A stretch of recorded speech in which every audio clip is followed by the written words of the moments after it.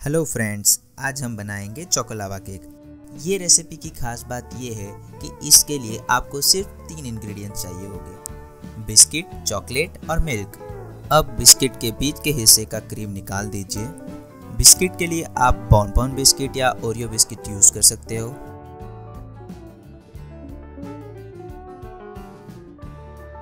Mixer के jar में सारे बिस्किट डाल दीजिए और उस बिस्किट को अच्छे से ग्राइंड कीजिए।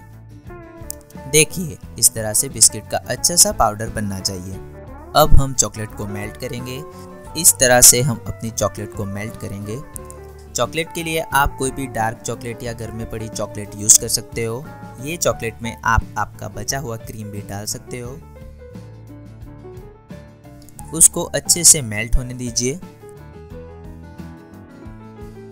ये रहे हमारे मेन थ्री इंग्रेडिएंट्स। बिस्किट का powder, milk and melted chocolate. Melted chocolate में बिस्किट पाउडर डालिए। सब्सक्राइब कीजिए एन किचन और बेल आइकन को दबाइए। अब उसमें थोड़ा सा मिल्क डालिए और उसे अच्छे से मिक्स कीजिए।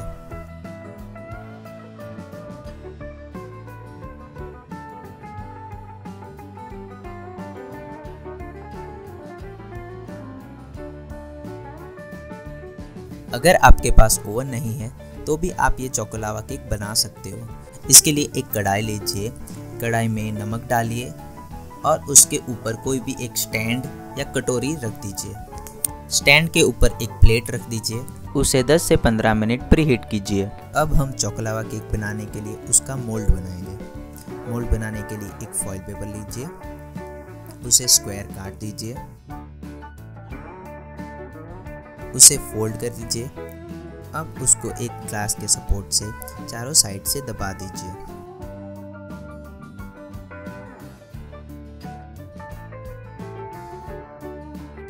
मोल्ड की कॉर्नर्स को आप बाहर की तरफ़ थोड़ा सा फोल्ड कर दीजिए, जिसकी वजह से मोल्ड थोड़ा सा स्ट्रॉन्ग बनेगा।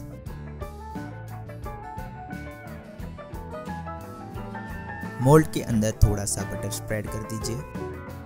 अब हमारी प्री हीटेड कढ़ाई में अपने मोल्ड रख दीजिए। उसमें हमारा रेडी किया हुआ चॉकलेट, बिस्किट पाउडर और मिल्क का मिक्सचर डालिए। सब्सक्राइब कीजिए एन किचन और बेल आइकन को दबाइए। उसके ऊपर एक एक पीस डार्क चॉकलेट रख दीजिए। ये डार्क चॉकलेट आपका चॉकलेट का लावा बनाने में हेल्प करेगा।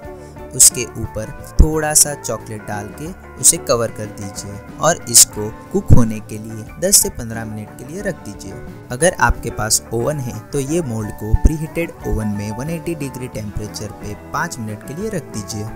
देखिए, रेडी हो गया एकदम soft and tasty Domino style choco lava cake.